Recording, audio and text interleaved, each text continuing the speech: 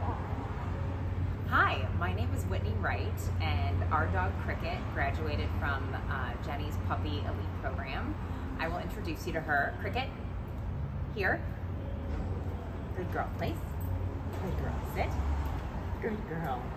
Um, this is Cricket, and she went into the program when she was about eight weeks old and stayed with Jenny for about three months. Um, and as you can see, super well trained. The dog of my dreams. Um, I don't know what we would have done without the program. Um, but in addition to being um, so well trained and such a great balanced dog, she is um, as kind of happy and joyful and has the same personality that she had when she was a puppy. Um, so we were super um, happy that she came back like that. And I think it's not only because Jenny totally knows what she's doing in terms of training, she has such a good handle um, on different breeds and what they're meant to do and the psychology of animals but she really, really loves them. Um, not just dogs, all animals. And um, she's really, truly kind of like the best trainer I've ever seen and worked with. And I cannot recommend the Puppy Elite program enough.